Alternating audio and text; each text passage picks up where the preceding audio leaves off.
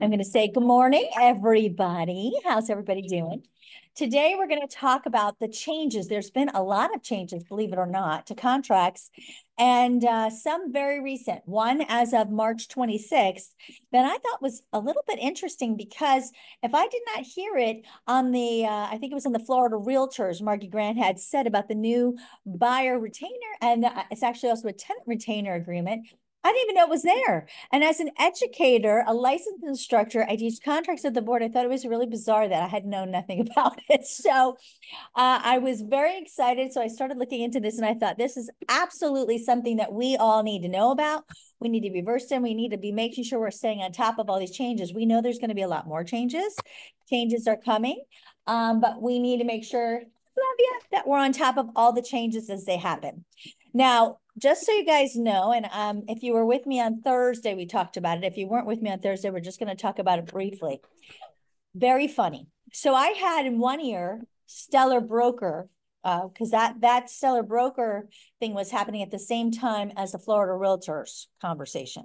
They were going on at the same time, and it was a conflict. It was very interesting. So some of the information that was coming about was not matching, and this is what I want you to be aware of nobody really knows what's happening, guys.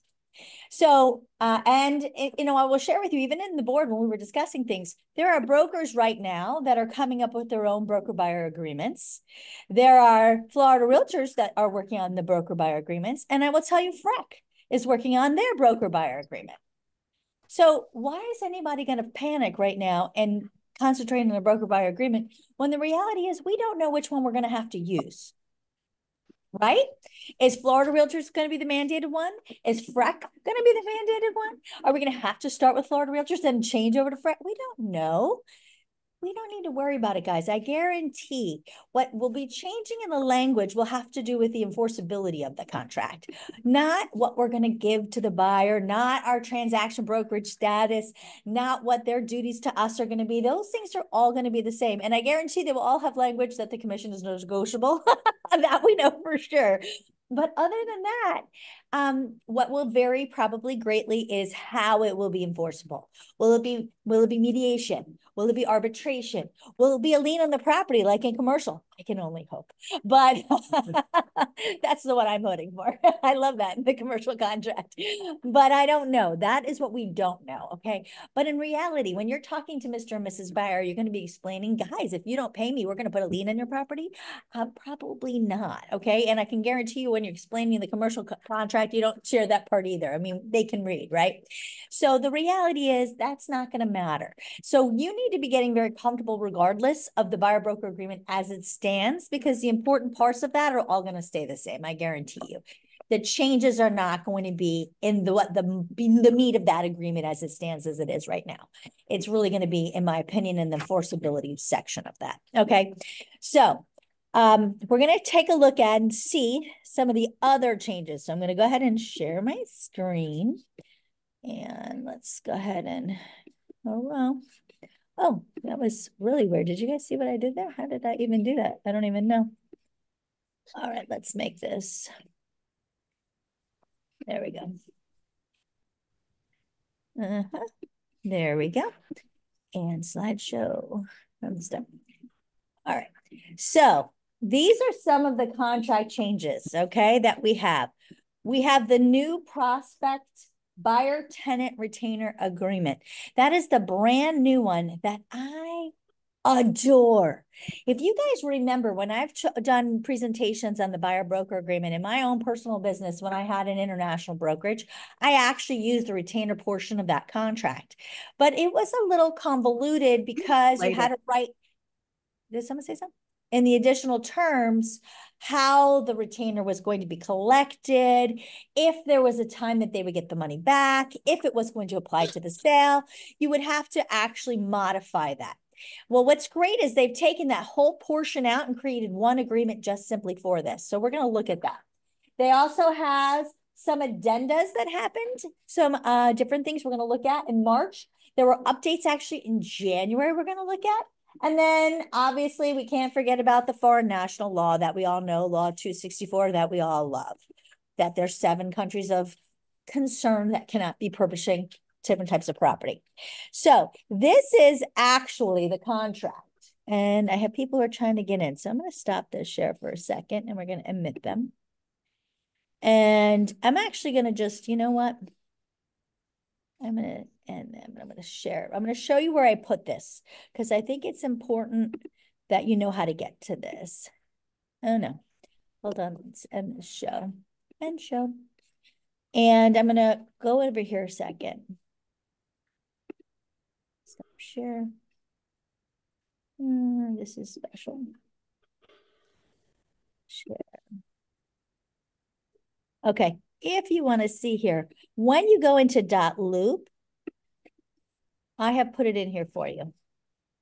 So if you go into dotloop and you go under buyer, you will see under buyer, you have exclusive broker buyer agreement. Now I want you guys to be very clear about this. There's still confusion on this and I want everybody to understand this. The broker buyer agreement does not mean that you're changing your agency. There are three different agencies, right? Single agency transaction broker and no brokerage relationship. There's a fourth broker buyer agreement which says transaction to transition to transaction. I have pulled out just the transaction brokerage agreement. So I highly recommend that you get your broker buyer agreement if you're going to use it. And I highly recommend that you start using it to get comfortable with it that you use it right here because I've pulled out the proper one. Because I've seen you guys start to use these, which is so exciting, but sometimes you're using transition to transaction. You don't need your transition to transaction. We are transaction already. Please don't use single agency. If you by accident pull out a single agency agreement, you are now a single agent to that buyer. You know what that means, guys? You can't show many of our listings because we are transaction brokers. So you can't be on both sides. It can't be our listing and you're representing the buyer. That's the whole point. That's called dual agency, which is illegal in the state of Florida. So you have to be very careful which which brokerage agreement you're using, which is why I've taken the time to make sure we pulled out the proper one. Transaction brokerage. Is there any questions on this? Because I think it is very critical we understand that. Any questions? In here, I pulled out the new form, prospective buyer tenant agreement. See it? It's right here. And it is so great. So we're going to look at it. Ready? The prospective buyer, or you could use this for a tenant. So guys, God help you. You know, sometimes we get off, asked that question. Can you help so-and-so find a rental? They're going to be buying in a couple months, but first they need a rental. Guess what? Now you can charge them because we're not going to get paid anything from the other side. We know that, right? So this means that they can pay you for their services. So you select tenant there. This person agrees to utilize the services of our brokerage to assist the prospect in locating the acquisition of suitable real property. So that's whether they're going to purchase it or, or rent it, right? The term acquire or acquisition includes purchase, option, exchange, lease, or the acquisition of the interest in the real property. So no matter what you're helping them do, they're covered in this agreement. We really don't do anything other than purchase or lease, by the way. We don't deal in options. We don't deal in exchanges. And I really hate option to purchase. It's a bad one too. Like get an attorney if you're going to do that. Okay. So it'll be, uh, begin on the day you start working with them and it'll terminate on whatever day. Give yourself plenty of time here. Okay. I like a year personally. And if people are like, Carrie, that's an awful long time, I say, I know I love you so much. Should we make it longer? You know, I'm a little bit of a comedian myself, but I would just suggest if don't make this too short, you know, because the reality is how often do you find the perfect thing immediately? And do you want to keep rewriting these? I wouldn't want to. So my opinion, but do what you want. Here's the broker obligations. You're going to use professional knowledge and skill, discuss property requirements, and assist the prospect in locating and viewing the suitable properties.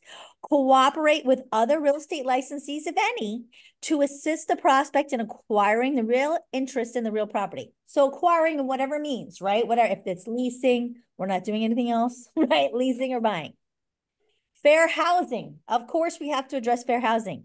The broker adheres to the principles expressed in fair housing act and will not participate in any act that unlawfully discriminates on the basis of race, color, sex, disability, uh, familiar status, country of national origin, or any other category protected under federal, state, or local law. I love how they added that because we all know they keep adding to that, right? So in case they add five more things, you're covered here. We don't have to change this because this one just came out, as you see, March 2024. But fair housing could change tomorrow. So this is already covered because it says, and any other protected class. The retainer. Here's the strength and the beauty of this. Upon final execution of this agreement, the prospect will pay the broker, ready? A non-refundable. Those are the magic, beautiful words to my ears retainer fee of whatever you want to make it, guys. 500 bucks, a $1,000, $200, $2,000. Keith, this is a good one for those people in the villages. Instead of the broker buyer agreement, sometimes you might want to use a retainer. Just to say. Anyway, for the broker services, this fee will not be credited to the prospect if compensation is earned. You don't have to worry about it. It is so clean. It's not going to be. And Florida statutes, right here, 475.453, broker and prospect agree the retainer fee for the real estate services described herein does not constitute a fee paid for rental information list, because that's illegal, as described in that section. They sign it, you sign it, boom. You can collect the money and give it to the broker right there. You don't even have to give it to a title company. You give it to the broker along with this, and we can put the money right in to pay you as an OPC. Don't have to have the money go be held with the title company. Why? It is non-refundable. It is not ever going to be applied to any purchase, guys. You collect this right in the beginning and you turn it right into us with an OPC. Is this not a beautiful thing? Do you see why I was super excited about this? I don't think most of my clients agree to this stuff. If you have a customer who's coming from another country who you're going to be running around with for X amount of days, this is a beautiful thing. Now, rentals, why would you want to be working rentals? No, But this is perfect for a rental. Yeah, no, for rentals, Understand. Mm-hmm. Now, when you start dealing with buyers, and let's say the commission situation happens, you can now take fees for your services and say, listen, I'm going to take a fee and I'm going to try to work in that the commission is paid for. And if it's not paid for, I took a fee. You know, you can work this any way you want to. This can be used in any way, shape you want to use it. Doesn't matter. It's a non-refundable fee. It is a retainer fee for your services. We all seem to forget we are professionals. If you were an attorney, Flavia, would an attorney spend hours with a customer and not get paid? No. Services. But the service is guaranteed. I mean, what, what what services are guaranteed? They're uh, telling you information. No, no, but there are other services. Yeah, the, the, the opinion of the attorney is going to be it's what you're paying for. No, it's not different than sales.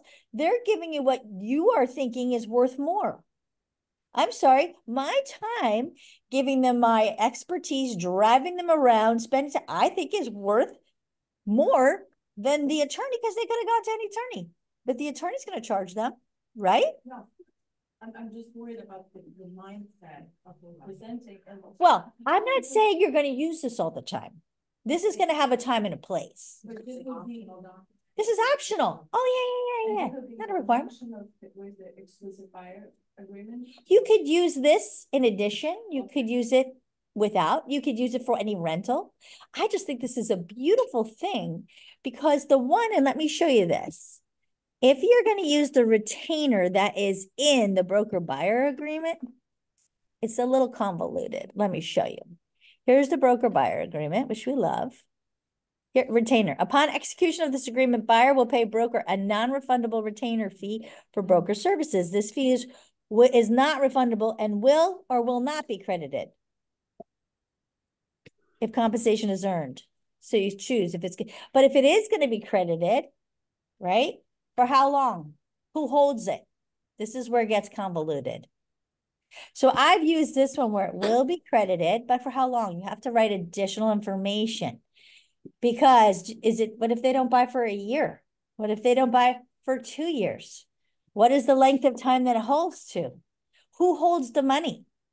How, oh, how many title companies are willing to just hold a retainer fee of $2,500 or $5,000? Who's willing to do that for free? These are the things you have to think about. And that's why I've used this a ton of times. Because if I was driving down to Miami working with a foreigner, I'm not just doing that for free. So I would take all my expenses and my time, and that was my retainer fee. And it would be would be credited if they purchased it within a certain period of time. But I had to write all that down in here that I had written up by an attorney. And then I had my title company hold it. It's a pain. It still says non-refundable, so. Yeah. That be collected now? Yeah, you hold, you take it up front. You had to hold it with title. If you would say it was going to be credited, if it was not going to be credited, then you could deposit it because it was not going to be credited. But see, the other one's cleaner because that was just one thing. They give you a check and you deposit it over here. But see, this one, Shane, is a little convoluted. People liked it. I had no problem getting foreigners to sign it, tell you the truth, at all. Because if I'm going to go spend a whole weekend driving around Miami searching for properties with them, they understood my time was worth money. Of course, I mm-hmm. met them in their country first, too. So they understood they had to pay for me to go do that. But again, it's how and when you want to use it. I'm not saying you have to use it. I'm just saying who knew it was there? Nobody. I didn't even know it was there. So now you don't have to use the whole broker buyer agreement if you want to work with a, a, let's say you have to deal with a, God help us, a renter. You don't have to worry about the renter paying us anything. You say, listen, it's a thousand dollars for my services to find you something. You do a retainer agreement and you go find them a, an apartment if you want to do that. If they pay you something, 50 bucks, you're lucky they paid something. If they don't, you're getting paid something to do something, right? That's your choice. Your time is worth money, guys, and it's up to you to decide how much and if you're willing to get it. But if you want to work for free, I can't stop you. But now is the time you got to start thinking about those things because as we get closer and closer to July, you're going to have to get better and better at being able to explain that. Right? Everybody clear on that? All right. Let's get back over to here. So this is some other changes that have been made. Uh, what happened to my beautiful screen here? Okay, so let's play this from the, oh, not from the start here. Okay, hold on. All right, so this is the next one. The exclusive right of sales listing agreements. Every one of them have been revised. Did anybody know that? Because I didn't. I know, Flavio, right? But it's not a big change. What they changed in every one of them, you see down here? If this box is checked, refer to the local MLS rules regarding the entry of the property. If this box is checked, it's in every listing agreement. That's what happened. What he used to say is you see the one up here? It, none of the if this box is checked, the property cannot be placed in the MLS.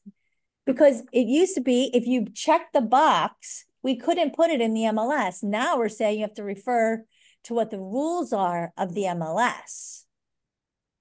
Because pretty soon you won't have any compensation showing in the MLS. So certainly we can't have if you don't offer compensation that you can't put it in the MLS. That's why they've already gone ahead and proactively changed that in every contract. Vacant land, it's exclusive right of sale. This is the commercial property, the vacant land, and the um the regular exclusive right of sale listing agreement. Every contract has already been modified as of March.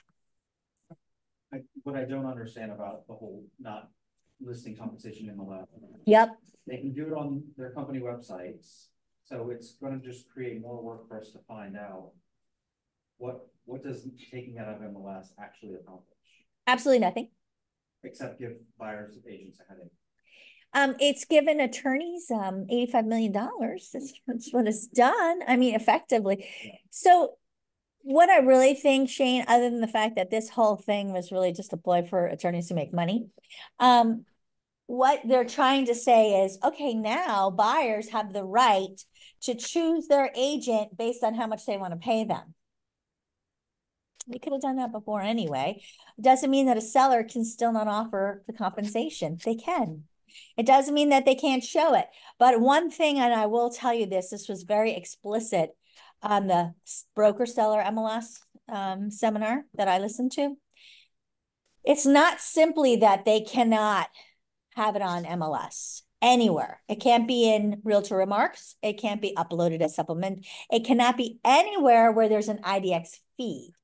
Now, on our website with our IDX feed, it can show our, we can do it. They can't do it. They can't provide it, but we can have like IDC Global, our company, put it in there so that all of our listings show our compensation. We can do that, but we can't show Coldwell Bankers. Right. Their So job is to police that. If a buyer is interested in a house by Coldwell Banker. Now we have to go to Coldwell, well, if Coldwell Banker is going to do it. Right, So here's my point, guys, and you know, nobody knows what's really gonna happen. Let's put it this way. We don't know. What cannot happen is Zillow cannot start taking an IDX feed and showing everybody's. Because uh, now MLSs have to police that. And Zillow will be turned in and Zillow will be sued. So that's the point. So Zillow can't become the next platform, but who knows what will happen? The good news about it is, let's say there's a lot of lazy brokerages, because that's going to be costly to do that, right? That won't put it on their website and agents won't be able to go look for it. To your point, is it a headache for buyers agents? Absolutely. So do you not see an advantage though for us? Imagine you're an agent. You're probably a newer agent because you're a buyer's agent, right? You're trying to navigate this new world. You don't know who's going to pay you. Oh my gosh, what do I do? I don't know any other company other than Sotheby's who shows it on their website. I guess I'm just going to have to show all Sotheby's listings. Do you see that as a bad thing for Sotheby's? no. now, with that said, is that truly fairness out there for the other sellers? Do I really care? I mean, that's not what they were supposedly creating, right?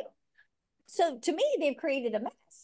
But in reality, who did it? The attorneys who were just trying to make money. Yeah. Right? Um, just a question on. Yes. The, uh, the last document that you had, the retainer fee. Yes, And the retainer fee. So I guess Zillow, it kind of sounds like it's geared towards renters per se.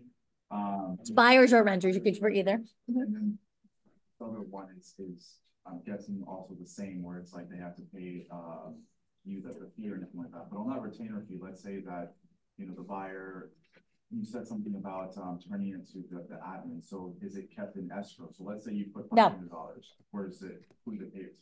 They would pay to Premier Sotheby's.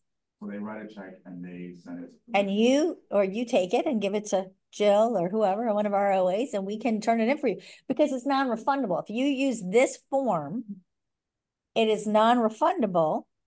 It can be given to you as an OPC check. You get it right away. But do we pay a split on retainers? Well, it would be just a commission to you. Yeah, it's the same oh. thing. It'd be a commission. You'd just be collecting some, you would set it. Yeah, it's you.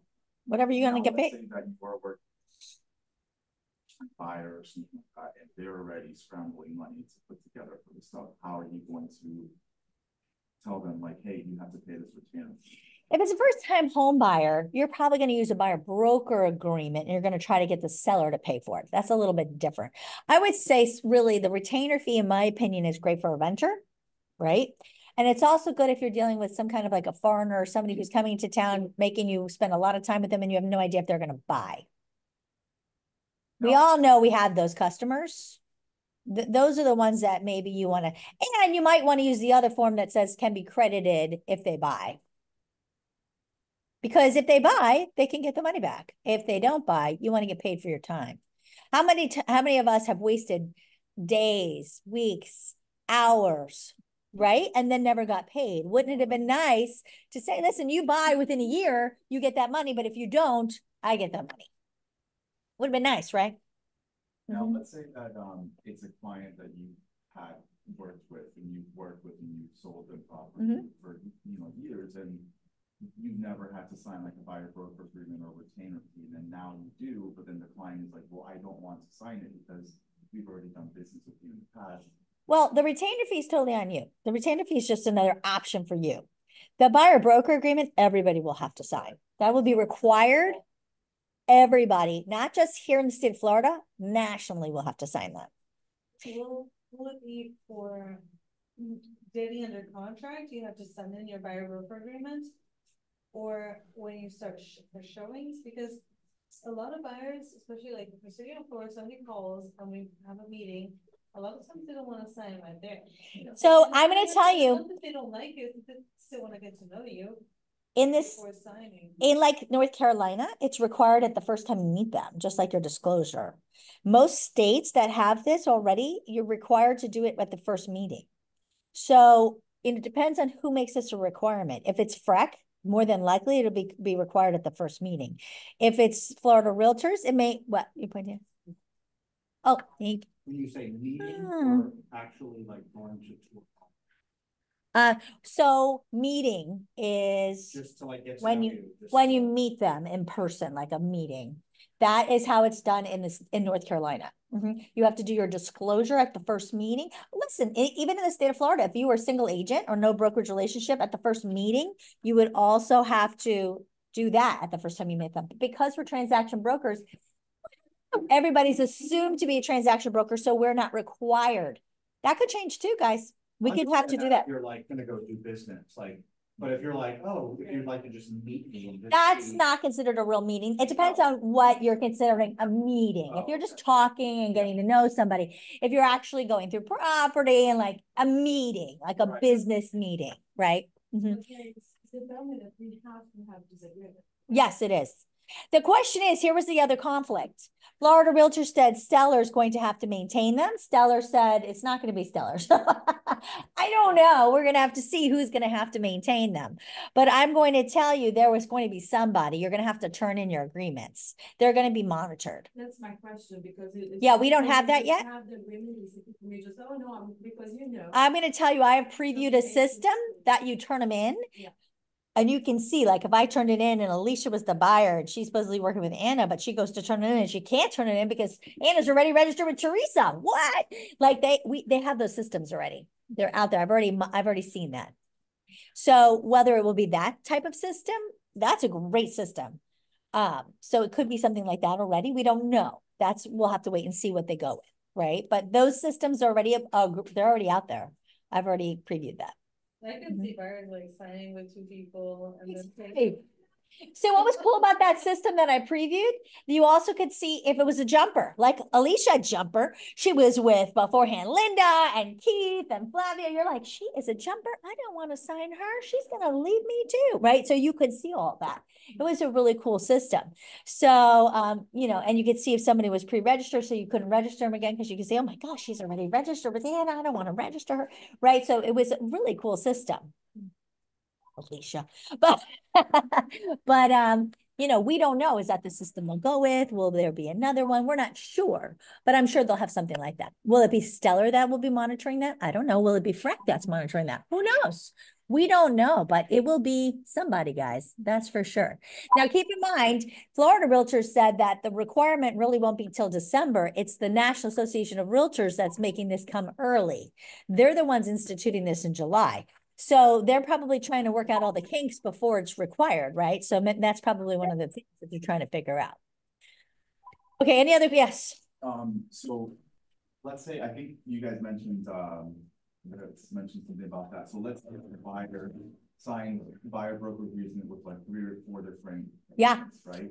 Then what if they go under contract with like, let's say Shane and they had signed with me prior, how does procurement clause? call- well, see, that's the whole thing. If you actually mm-hmm. have a system like that, then you can't sign an agreement with three people because they'll already be in agreement.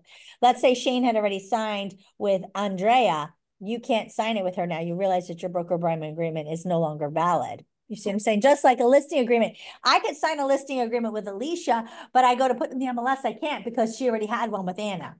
That's the MLS already stops that. So is there a system already to stop that? I, I can. We have a system. I've seen a system. We don't have it in place because we didn't think we needed it, but apparently we do. So I don't know if we're going to use that one or what's going to happen, but I can tell you there are systems that have that. Yes. it became broken, like, when I was working at Five Square Homes. People come with one realtor and a few days later, after contract executed, they want to change it because they don't like the realtor. I mean, how is it gonna work? You Because- can And I, release, that's I got I said to my client, you drop your contract and I will lower my, my, my commission, you change realtors, you know, and, and they can't do it, because you cannot force anyone to work with you. you can release someone from a contract. Even the broker buyer agreement has a release, but the broker has to release them. Like, I don't care. I'd release a buyer any day. I don't really care. Is there a form for that? The, the broker just has to release them. I'll show you. There, there's form, if somebody says, An actual form. You just need to get it in writing that the broker will release you. email, But I guarantee you, if there's a system, there's probably a way that they would have to go in and release them.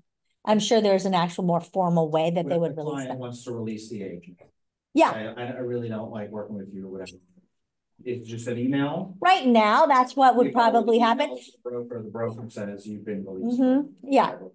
Yeah, like if, if, um, Alicia had a broker agreement with Anna and she wasn't happy, then uh, you could contact me, I could release you from that, and then you could work with somebody else. I mean, that happens all the time. That's not a problem. Yeah. But in the future, because it's gonna become more of a situation, guys, more than likely it'll be a more formalized thing if there's a system that monitors that. Mm-hmm. But, you know, it's just like a listing agreement. Listen, you can get a listing agreement, doesn't mean you can drop it.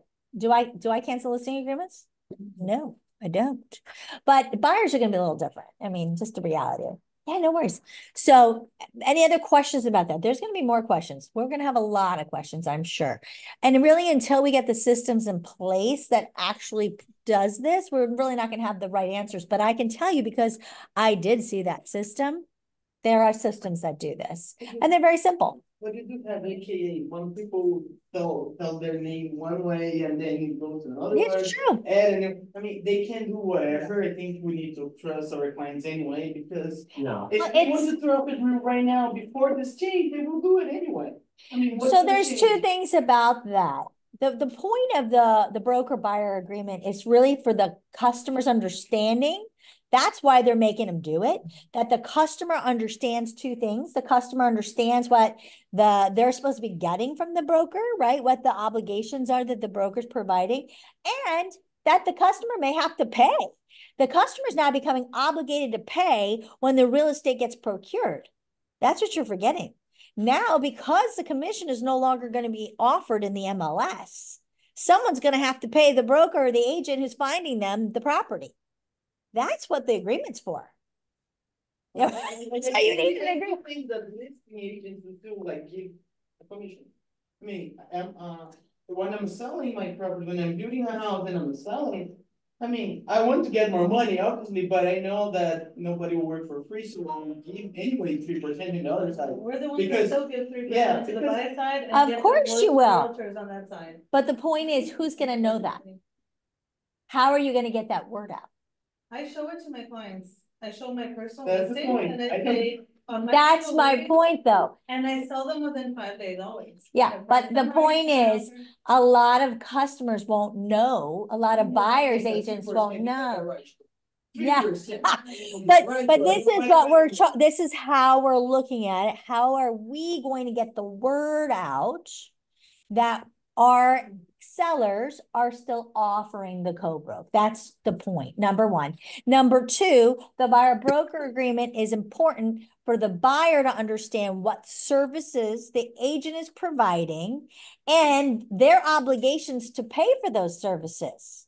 That is the importance. And that they're going to be held liable for paying for those services at the closing if they can't be negotiated in. Can we divulge that information open, do a flyer at the house? Like, don't worry. about I'm the- sure that will be okay because it's not in the MLS. So as long as they're not in the MLS, you're fine. I think the most important thing is it just cannot be in the MLS and it cannot be on a website showing another person's.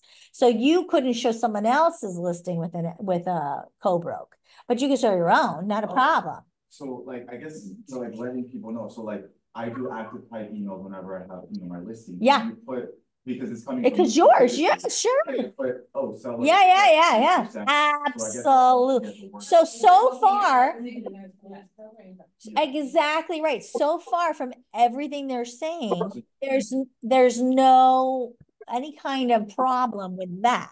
Because you're just talking about what you're And any representing. like brokers open, I can also. Exactly. Mhm. But it's all on you and your advertising, right? But you can't talk about the one down the street, that's another broker that's offering it. But why would you, right? It doesn't make any sense anyway. But that's really what it's talking about. It's, then you definitely don't want to talk about. So yeah, but does everybody see that? So it's, it's really not a negative for us in a lot of ways when our sellers are the ones offering it. The negative is going to be for the people that aren't offering it. That's the point. And this is what the public is not understanding. Because they're going to think, oh, great, I don't have to offer it. Well, good luck trying to sell it. See, people don't understand that part of the whole equation. And how about the public approaching listing agents directly, just to buy without representation? Well, is the listing agent going to get paid? Because why would the listing agent want to work for free? Well, because everything is negotiable, right? So the listing agent can just tell the seller, I'll give you for a little bit more, I'll be, have to just buy it, but we have now. We But To your point, the listing agent is now going to negotiate with the seller to pay their commission as if they're the buyer's agent. Yeah, They could totally do that. but what if there is a, Then why would you work for free? but what if the, the buyer just doesn't want the agent, right? He just wants to go straight to. the So here's your point. The buyer's not willing to pay you, the seller's not willing to pay you. Are you gonna work for free? I wouldn't. Buy with the listing agent. Yeah, why would you work for free? But there is like, there is a lot of people talking like. oh, you need to put But Flavia. We do not have to work for free. So if the seller's not willing to pay you as the buyer's agent, the buyer's not willing to pay you, who's writing that contract? Who's gonna be covered under errors and omission if they choose to sue you? That's my question. Yeah, so you don't work for free. I wouldn't work for free. If you choose to work for free, that's your own fault. I wouldn't do that. That's a bad business decision. So, Mm-hmm. I think, You can make your own own contract and. so I think what she's, what I think what Flavia is saying is that, so like, let's say that she's the. Mm-hmm. Yes, And the buyer comes to. her directly, yes. And then the buyer doesn't want to sign, seller doesn't want to sign, but I guess then you would just try to negotiate with the seller. Correct. If the seller doesn't want to pay her anymore, so let's say she's getting paid three percent by the seller. She says, okay, give me an extra whatever percentage to cover them. They say no. And then she says to the buyer, okay, pay me whatever and I'll represent you. They say no. So Why does she not have to pay? for that? She says, sorry, go work for, go get someone else to pay for it. Search for a no, I contract. understand. Right, just, just as like the public. But that's, that is exactly the, the problem. That is the main problem. It is a misconception, but then you don't work for that customer because they are not paying you. The seller is not paying you. The buyer's not paying you. If you work for free, you are assuming all liability on that. And that's the concern. Yeah, so you don't work for free. You say, I'm sorry, I cannot help you.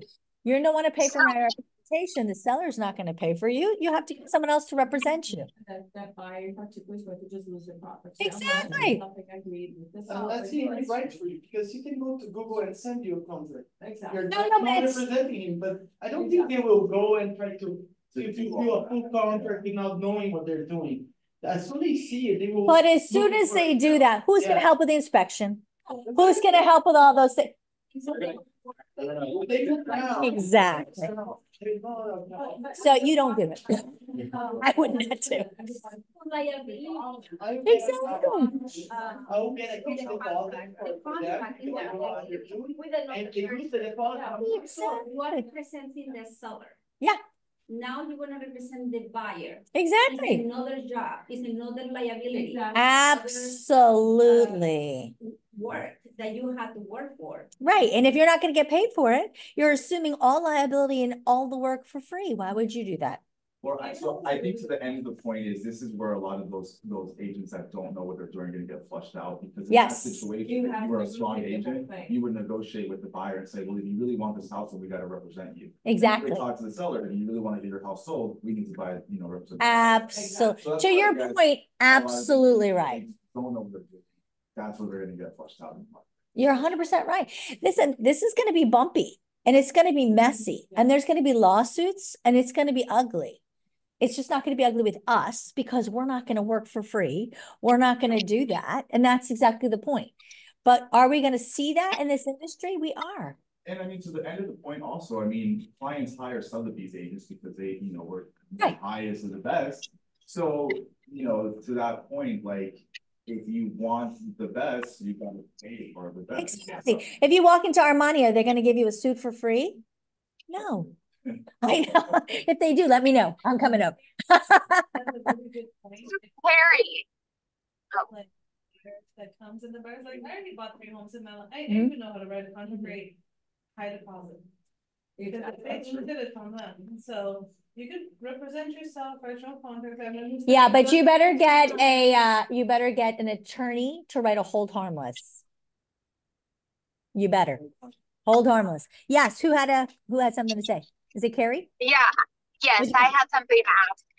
So I want to give you an example of something that happened like a year, two years ago.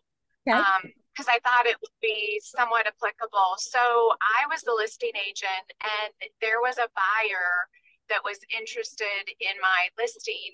And the first agent did a FaceTime showing on my property and those buyers were like in New York or something. Sorry. And then the second agent came and showed the property and those buyers actually went under contract with the second agent on my listing. So like, let's say fast forward to now or to the rules now, that could get pretty sticky if what happens if that first agent didn't release them and then it holds up like the sell the sale of your property, you know, your listing. Well, here's the thing to your point, Care. It wouldn't hold up the sale of your listing. Yet no one can go for procuring cause until after it closes. So after it closes, you're out of it. They hold the commission uh, at the title company. And then what happens is then they go to the board. They have 180 days to file. And then they go through the process to see who gets the money. But you don't have to worry about it. You're out of it. It's really between those two agents fighting over their commission. So it would never hold up the sale because if they hold up the sale, that's called impediment of the sale. And then both of them are in violation of the code of ethics. Okay. A good point. Mm-hmm. Have they addressed how this is gonna affect open houses if somebody comes in and you're showing them? No. Great point, though. Great point. No, open houses has not been addressed. One thing they did address, which they came up with in January, by the way. Does anybody know that they came up with a addenda? Uh, Alejandro, you need to look at this. It's called Sight Unseen Property Disclosure and Acknowledgement. Remember, you said you didn't think the guy saw it? You need to get this signed. Uh-huh. So this is a new addenda that basically releases the brokerage from all liability if the buyer has not seen or has only seen the property via FaceTime or some kind of virtual. So because we all know what happens, these people see the home virtually, walk through it that way, sometimes only with pictures. They come and buy it and then they want to sue you or the sellers because they say it doesn't look like the pictures or there was something wasn't as they wanted. It happens all the time.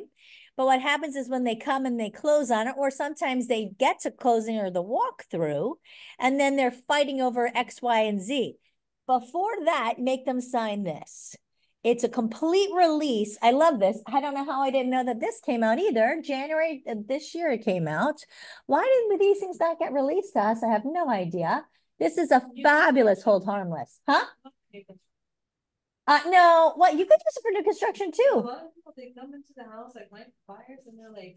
If you were the builder, know This close, it didn't look like that. if you're the builder, I would use this. If you're going and representing a buyer at, you know, Toll Brothers, you know, they're gonna go after Toll, not you. I don't really care. But if you were the builder, yeah, I would be using this, right? What if you're in- Make them sign it. Make them sign it. Because if you don't believe that they came to see it, if they can't prove to you that they came to see him, have them sign that. This is a hold harmless for us, for you, because they can't come back and say, oh, this isn't as we saw it in pictures. It's a great one. So this is a really important new document that you make, that you definitely want to make sure you know is out there. That's a good one, right, guys? Mm-hmm. I know. I was like, what? This is a new one. Uh, another thing that uh, some of the more updates that came out. CRSP, they have a new condominium addenda that they, well, it's the condominium addenda's been there, but basically they've revised some of the language, but we don't really use CRSP, so don't worry about that one. There, they have changed the language in the cooperative addendum. Now, we don't really sell co-ops here, but just so you are aware, I put it in here. We're going to look at that. One thing that they did do is there a septic program replacement addendum. This form has been added to additional resources for buyers to check regarding any county septic replacement program. Guys, there has been several lawsuits about septic recently. So this is a really good one. And I'm going to show you this one. We're going to look at that one. Uh, and then obviously we looked at the last two already, the tenant um, buyer retainer program. And then of course, how we've already adjusted the listing. This one right here, oops, I have to admit somebody. Hold on. Participants, admit Kate Hoffman. All right. This one is right here. Oh, let's go back. This is the septic program replacement addenda. Now, what's great about this one, guys, and you know, it's probably on my screen, but what this does is it actually makes it subject to and this means that it becomes an actual contingency of the contract. So the buyer is going to be responsible for the cost of it, as you see. Now the buyer has the one who gets to conduct the, the actual um, inquiries with the county, okay, and all that.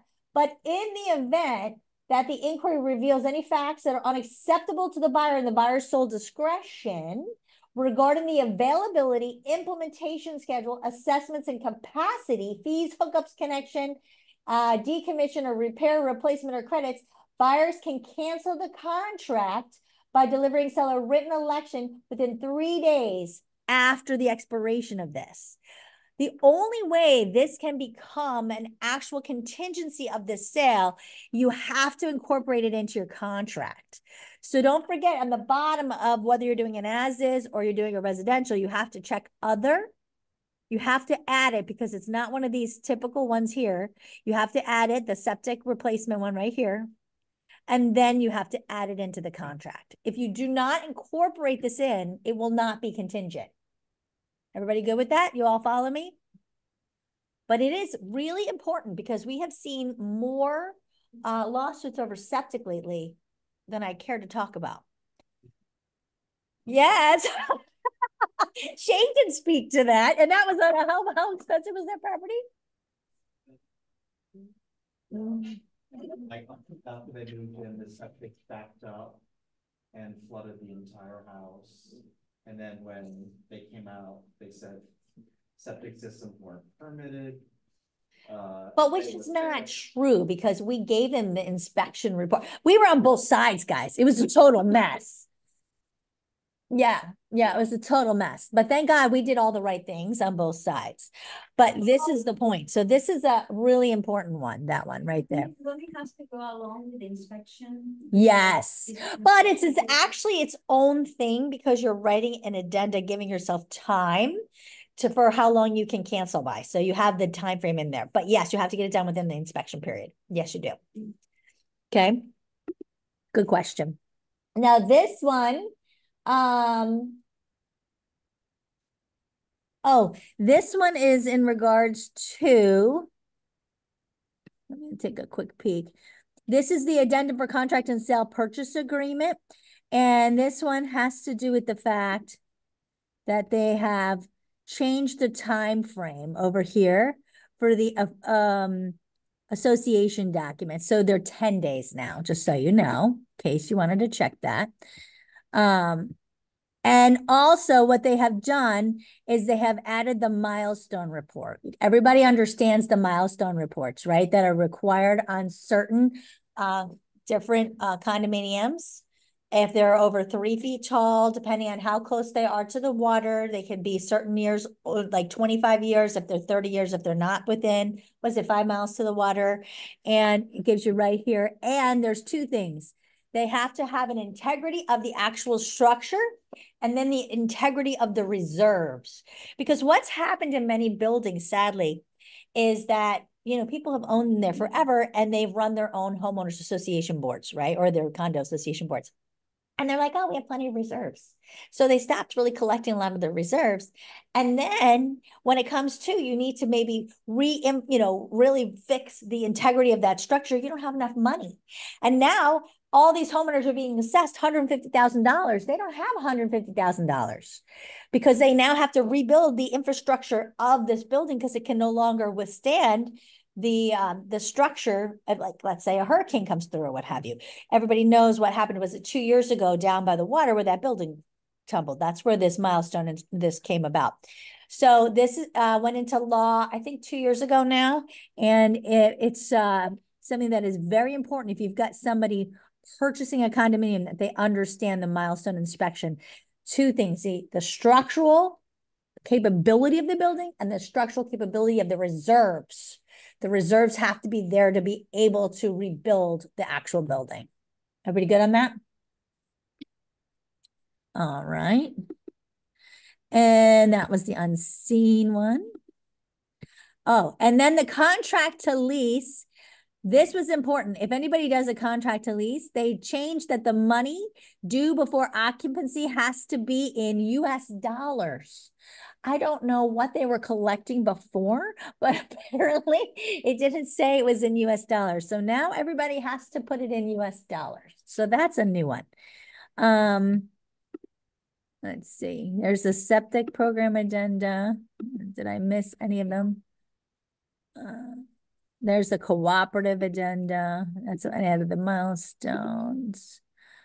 Uh, okay. Any questions about any of these changes? I think I hit them all. Let's see. Now I wanted to show you this. Oops, admit. Share screen. Couple things I want you to look at. Uh, that was like really big in it. All right. Again, in your buyer section, I've also put in the, not only the retainer in case you want to put the showing agreement. So if you choose not to use the actual buyer broker agreement, you also have a showing agreement. Does everybody know what the showing agreement is? If you don't do an exclusive broker buyer agreement, but you want to show a home and that one particular home doesn't have either a commission offered or it's a dollar or it's a 1%, and you want the buyer to agree to pay you for that particular home. This is what the showing agreement is for. You can actually use this instead of a overreaching agreement about all properties where you say, okay, these properties, uh, or maybe they're for sale owners. Maybe you're going to show the guy off market properties. You could say, for these properties, you'll agree to pay me a commission for these. So if you don't feel like doing one agreement for everything, you can do a showing agreement. And the showing agreement is where you list the properties that you're going to be showing. And everything else is the same on here. This is where they say how much they will pay you. They'll compensate you. Now, again, if you can get the seller to pay all or part of it, then that will come from what they've agreed to pay you. So that is the same but it's only on these particular properties, not on everything you show them. I don't personally like that one because now if you have to show them five other things, you have to keep adding to it, you know, so that's, that's like, I would just do broker buyer agreement, but yes. One question. Uh, yes. Regarding, this is, all this is new, you're this, uh, yes. With the new law. Uh, in the buyer's agreement, uh, the contract that you said that, you know, over there does not specify like the seller does not pay the commission, the buyer will pay commission, correct? What doesn't specify? That, that, the commission that you don't know if the, the seller is gonna be paying or not. So can that be put in as a contingency? So it is in the buyer broker agreement and in the showing agreement. Let me show you. In here, it says compensation, the broker compensation of, let's say you want 3% or a blank dollar amount is earned during the term of the agreement, the buyer or any person acting on behalf of the buyer contracts to acquire the interest in the property. The broker will seek compensation from the listing office. However, if the listing office uh, offers no compensation the broker will ask the seller to pay part of the offer to pay the broker's compensation. If the seller and the listing office refuses to pay broker's compensation, the buyer will pay it. So that's the thing. So it tells you very clearly you're going to ask the seller to pay for it. And if they pay all or part of it, that will be subtracted from what the buyer will agree to pay. So if you say it's 3% and the, the seller says, okay, I'll pay 2%, then the buyer only has to pay 1%. It's the same thing in the broker buyer agreement. Can you show me? In the broker buyer agreement? Sure. broker buyer, or That was the, the showing agreement. In the broker buyer agreement, that one, I, no, I just switched it, Oh. but it was the showing agreement I was showing. This one says the same thing. Compensation, broker's compensation is earned when during the term of the agreement or any renewal or extension, buyer or any person acting on behalf of the buyer contracts to acquire any real property as specified in this agreement. Buyer will be responsible for paying broker the amount specified below. I don't know why it says plus any real estate taxes. That always confuses people.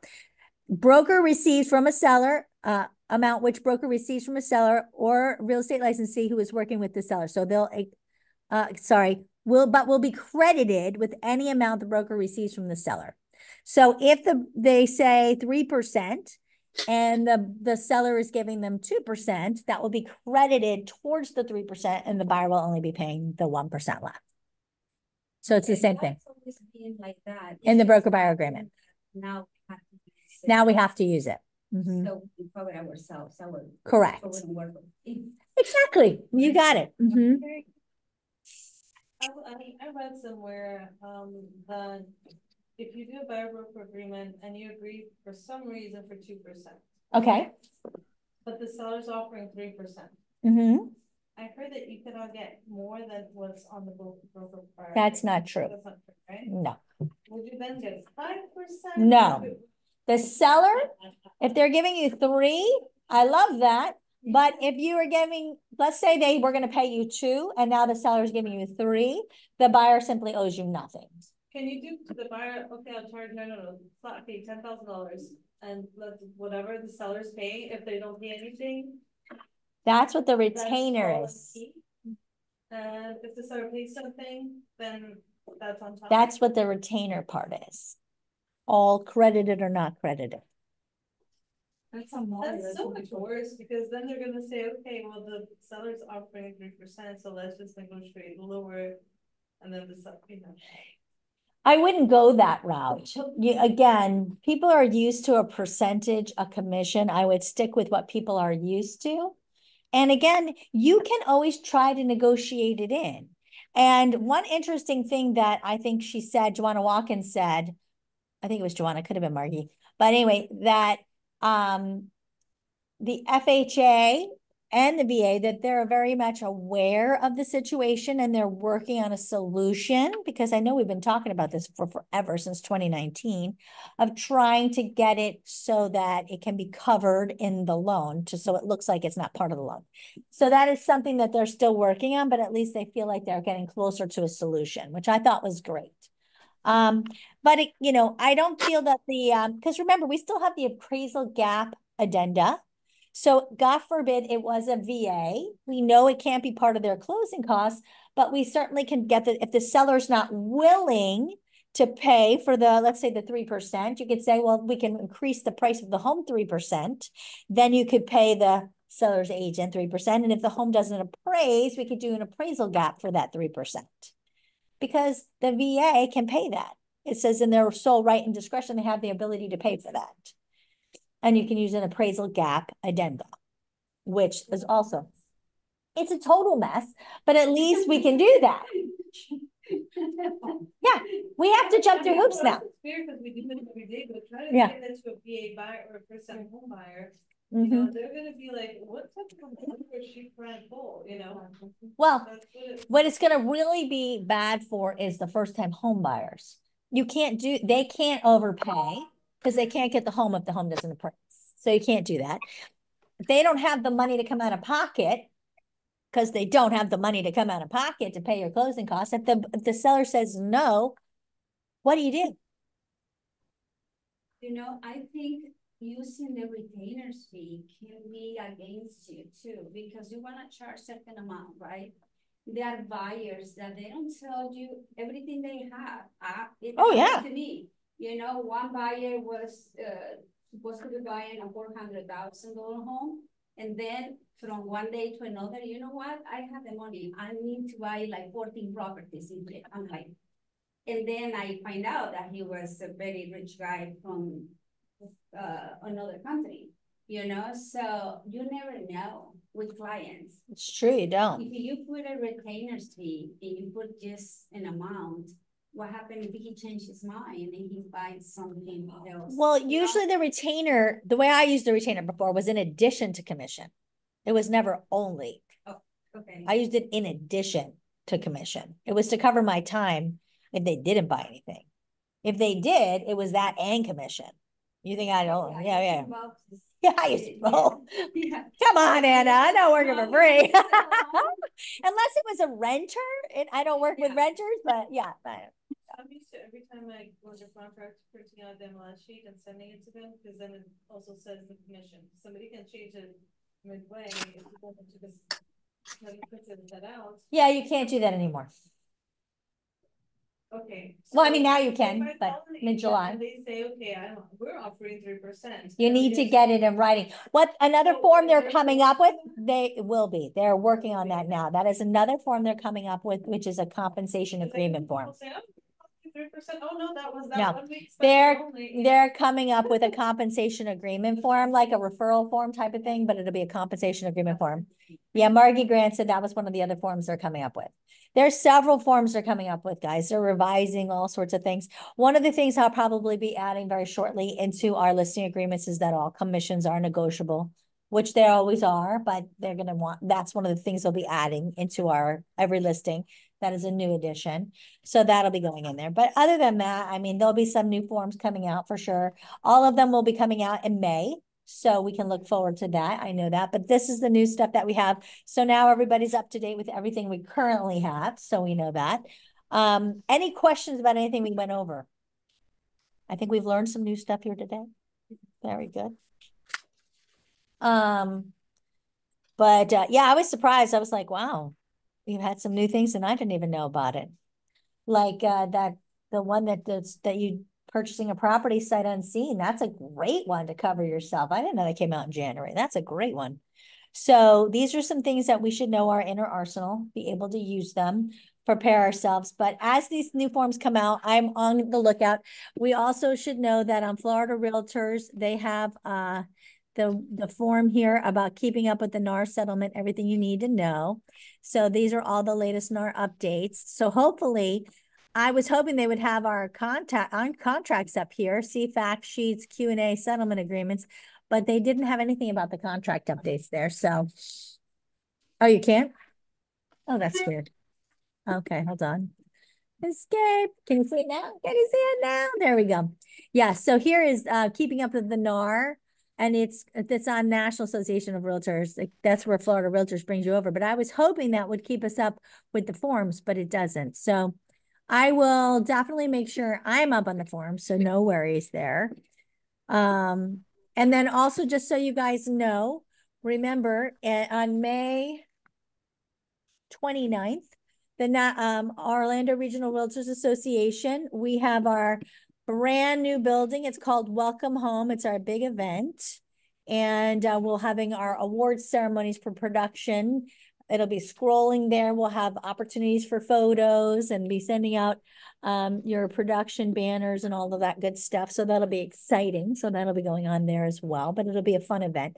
That is from three to seven, and that is in May though. So we have some time. I'll keep talking about that. Um, and then on Thursday, remember 10 o'clock is the um, the the buyers uh, presentation panel, which Budge will be hosting at 10. So I hope everybody registers for that. Any other questions or anything anybody's uh, wondering about? No? Well, I hope you guys got some good stuff here today. And if you have any questions, let me know. Thanks everybody for jumping on. Bye. Thank you. Bye. Bye.